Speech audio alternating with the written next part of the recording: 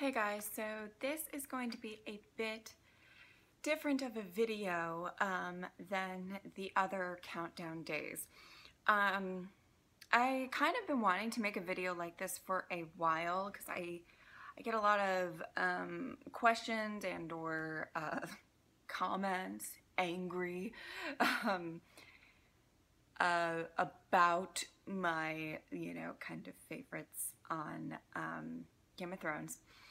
And I also wanted to do a video where it was kind of just like a talking sort of video so I could do it all in one take and you know, um, it's just less editing for me. I'm doing a lot of these videos and it takes up a bit of time. So yeah, um, so basically what I'm going to do is I'm just going to talk about kind of my journey going through the show and how I've come to really love uh, the Lannisters over uh, most of the other characters.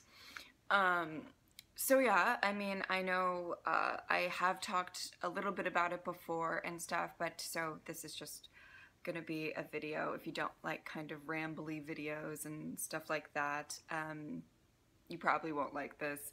You can tune in tomorrow for something different. So um, I started watching Game of Thrones when it started airing. Um, I was not somebody who caught up later. Um, I was always, it got a lot of buzz, so, um, and I was always reading like TV blogs and stuff because I'm a, just, I love TV in general. And, um, sorry, um,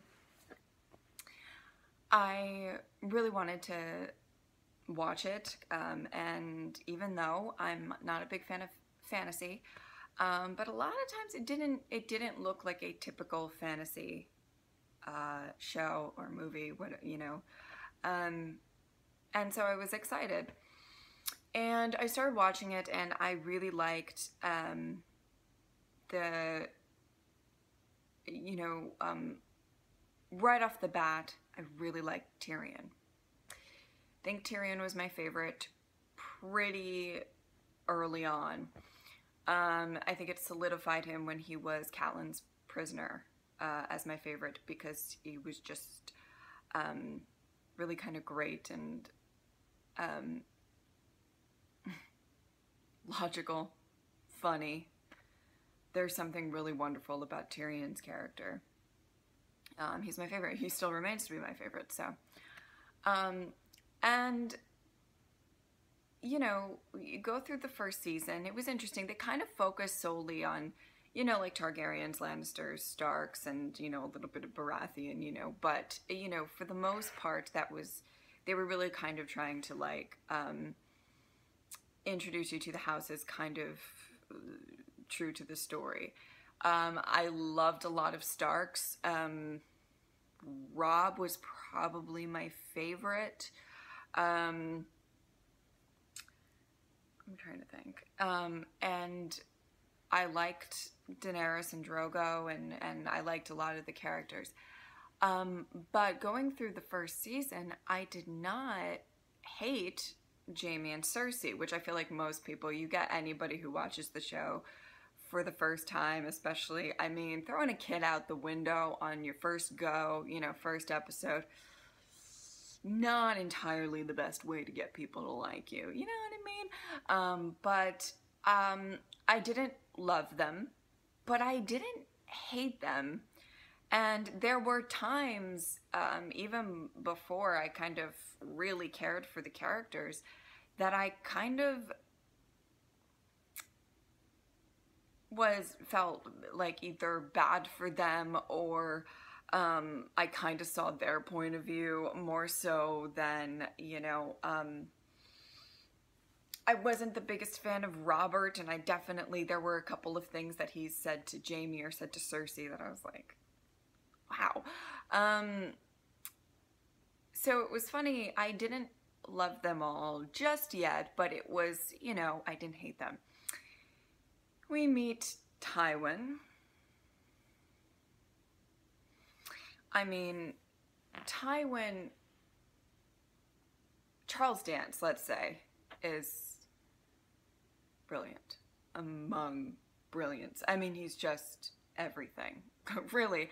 Um, that man can command a room. He could say you could you could give him anything like on the script to say and I swear I would think it was the most important thing that's ever come out of his mouth because he just has that presence.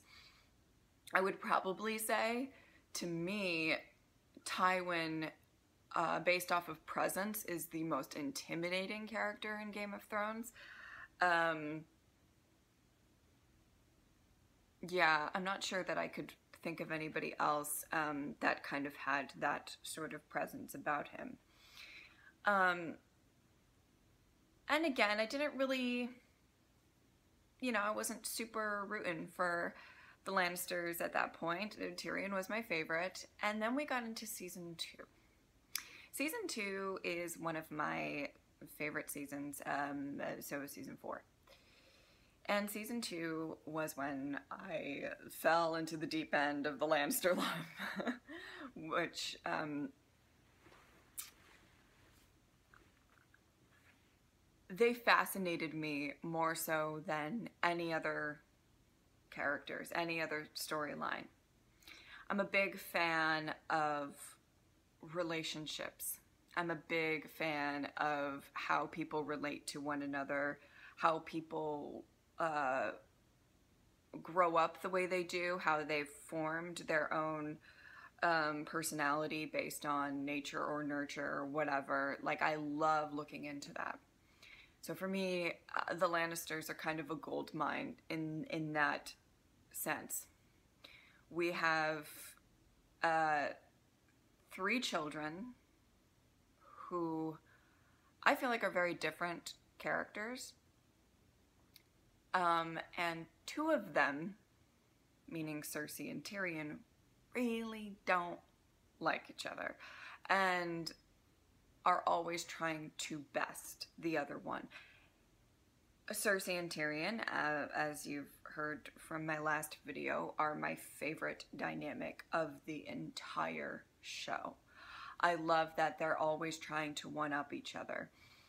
Um, but it's not just that, you know, I kind of talked about that already, but it's not just that um, that I loved. I did love that, but it was really fascinating for me to kind of see like these three children. I say children, but you know, um, of Tyrion, Jaime, and Cersei to kind of figure out what makes them tick. Jaime is the most confusing out of all of them. And, you know, if you think about going into uh, how they were raised, mom died giving birth to Tyrion. I don't know too much about the Lannister mother. Maybe she was carrying, I don't know. But we do know Tywin. Tywin's not the best father on the planet. Great uh, warrior, strategist, you know, like, you know, but, um, father? and, you know, obviously, I feel like Tywin was more concerned about the family name than about, you know, nurturing his children. And he molded these kids into, uh, you know, all in their own way, soldiers to make sure that the family name stays intact. Hasn't worked out too well. really went off the rails a little bit now, didn't it? But there's as much as I think Tyrion, Jaime, and Cersei are so very different. I do believe that the like kind of the one thing that they have in common is that they're not um, weak. They're not cowards. None of them. You can say what you will. A lot of people love to remind me that Cersei is so stupid. I love a lot of people like to say like Jaime's actually a really horrible person. Whatever. It's very difficult to break a Lannister's spirit. I like that. One of the qualities that I really love about Lannisters is that it's very difficult to break them. Jaime as a prisoner was like the epitome of proof of that. Um, you know, he it was quite an entertaining prisoner. I don't know how you feel about it, but I kind of liked his time as a prisoner, especially with Brienne and stuff like that. Even after he got his hand chopped off, um, and he's and um, you know that scene where him and Brienne are at the dinner, and he's just like, "And you're just sitting here watching me fail at dinner. What is that?" Like he just kind of still has a quick, little bit of a wit, a little bit, you know and I think it probably was ingrained into them very early on that you do not show weakness to anyone. Uh, anyone. I wouldn't. I was. I was about to say anyone who isn't a Lannister, but anyone. Um, and you got to kind of think about how um, just Tywin being your parent, how that changes you. Um, and I would assume the reason why Tyrion turned out, you know, quote unquote, the best is probably because Tywin put more pressure on Jaime and Cersei. You know, Jaime really was probably the the golden child, right? The, you know, Cersei was um you know, she had to represent the family in you know whatever she kind of whoever she was going to go off and marry you right and Tyrion probably had a little bit more freedom than Jaime and Cersei did growing up. And I don't mean that he had a better time. I'm not saying that. I'm saying that of Tywin's control. Um, I think Tywin still tried to instill Lannister values into Tyrion, but it seemed like he really wanted to groom his, you know, um, Jaime and Cersei for moving forward. Um, so, okay. I have so much, I could talk about the Lannisters for a really long time. I'm going to try not to make this video like a million minutes long. I'm really sorry if I do. So, that's where the fascination started. That's where I was like, wow, this family dynamic is something else. You can kind of tell that Jaime was always a little bit of a peacemaker between Tyrion and Cersei. You know, he genuinely loves both of them. I would say probably loves one a little bit more than the other. you know, but um, it was interesting that when Jaime was taken prisoner, that we have Cersei, and Tyrion um, really kind of going at it. Um, Cersei did some not so nice things to Tyrion. To, you know, I mean, you know. Um, and, uh,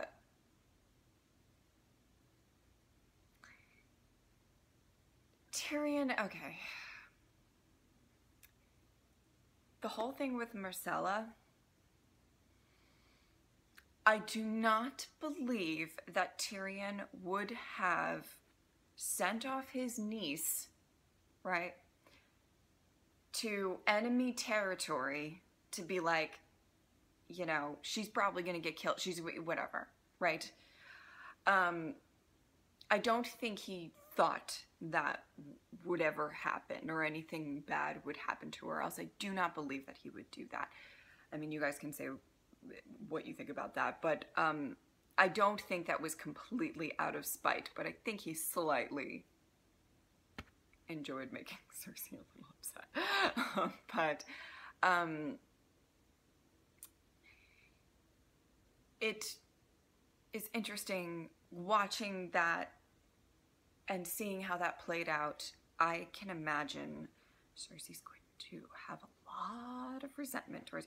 I think it's it's funny because um, they have so much resentment towards each other, which is why I love the dynamic between the two, and I really want them to see each other again. I really, really do. Um, because the tension is crazy. Now, I'm more Team Tyrion on this. He didn't intentionally, well, I guess he intentionally killed Tywin. you know what I mean?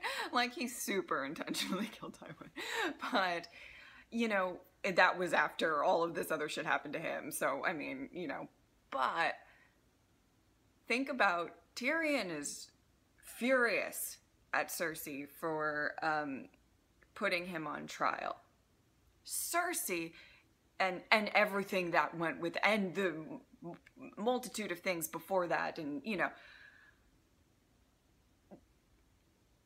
especially after he kind of basically won the battle of blackwater sorry all right anyway cersei believes whether you agree with her but in her mind she believes tyrion killed her mom Tyrion killed her dad, Tyrion killed her son, and inadvertently, Tyrion killed her daughter.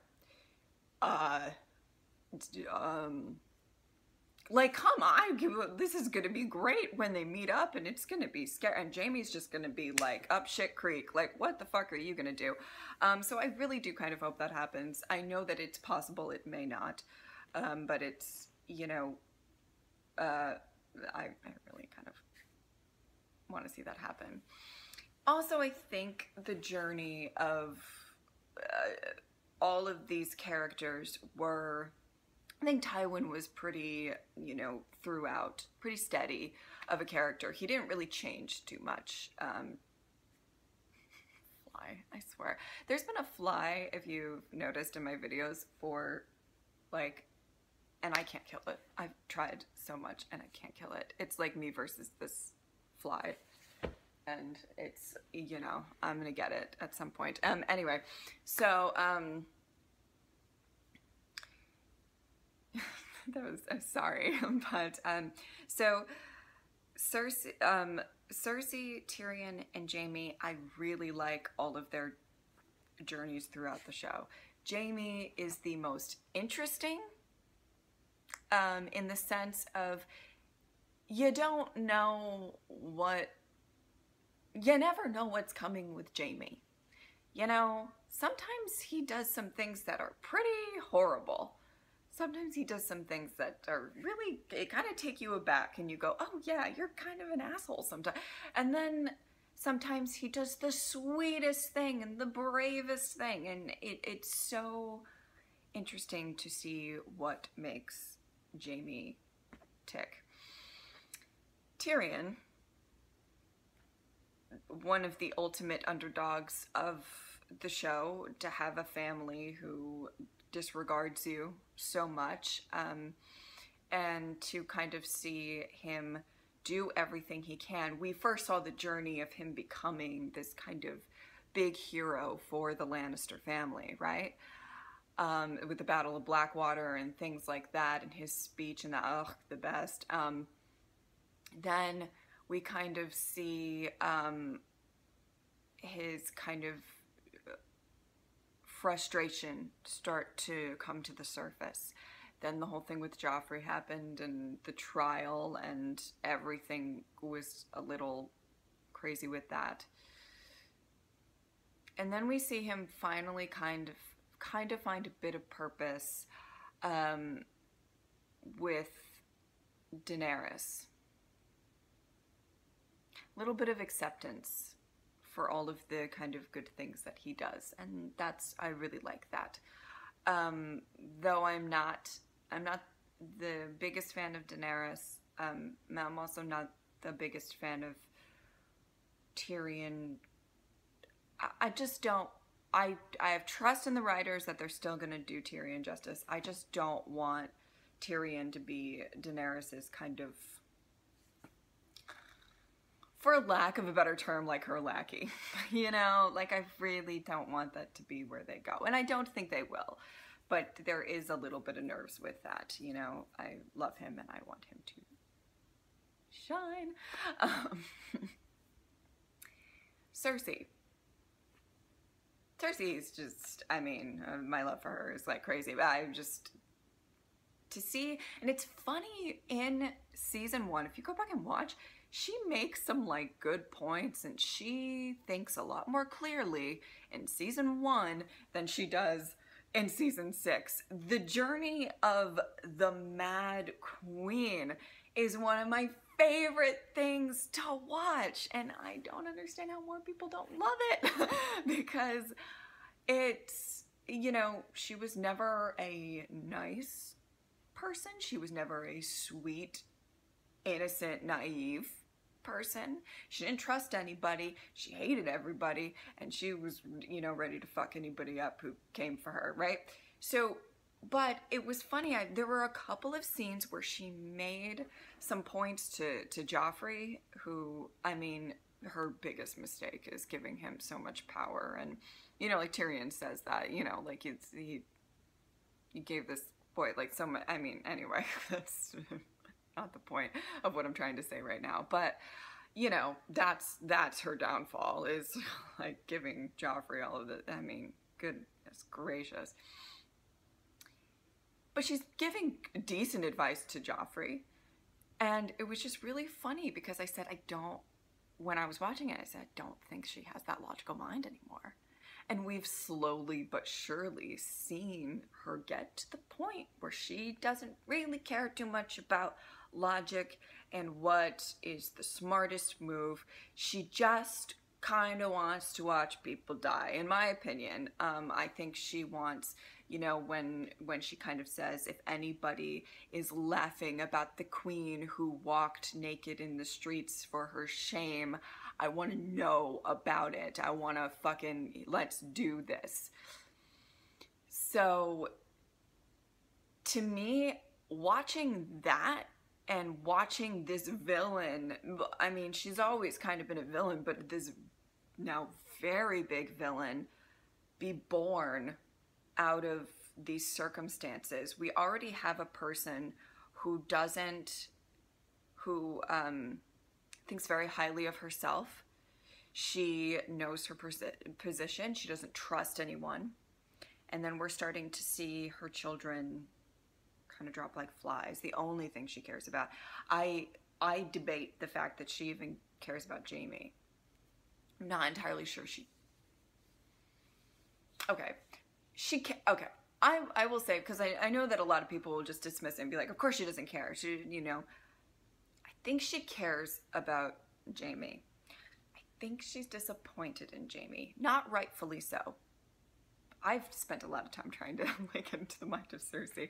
Um where she um and like how you know she's crazy. But um where she I think, you know, and Lena Headey uh, uh, said this um, in a panel once, and she said, you know, um, I think Cersei wants to be Jaime. I think that's the epitome of the character. I think she's frustrated as fuck that she was born a woman. Um, and she's been told all her life that what she is good for is basically opening her legs and breeding. And one of the scenes I actually do actually feel very bad for her is when, you know, after she like she gets sold off to Robert. She's in a 17 year loveless marriage.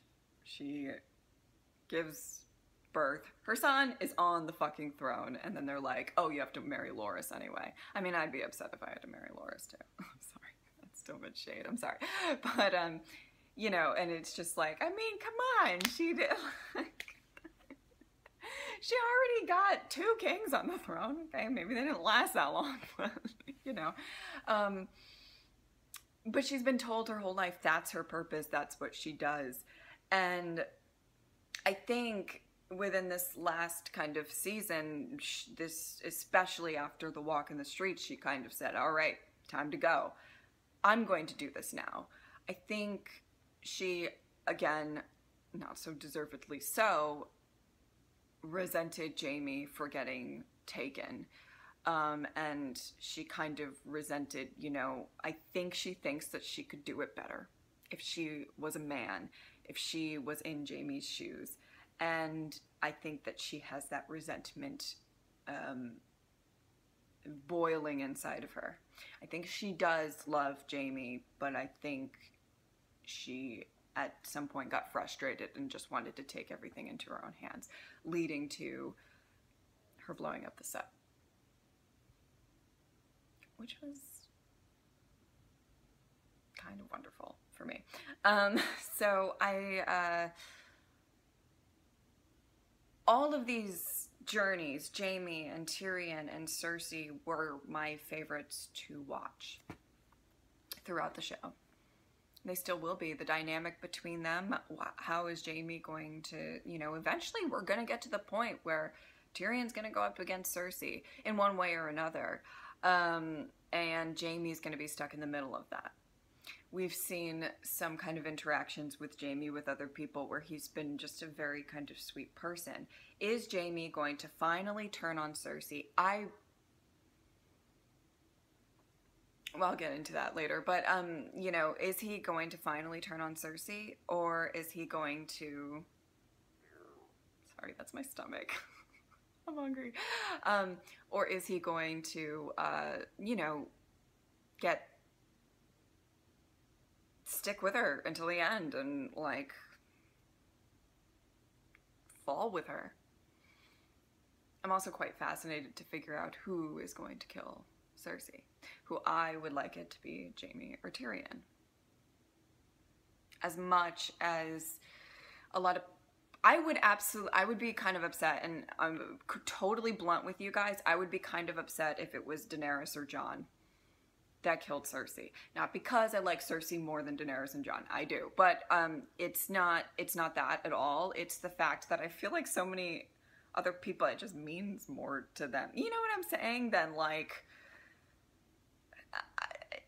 they haven't been directly affected by her wrath as much as like Tyrion has. You know what I'm saying? So if you want to go for the ultimate revenge, great scene, we got Tyrion over here. If you want to do a little more poetic and possibly kind of sad, we got Jaime over here.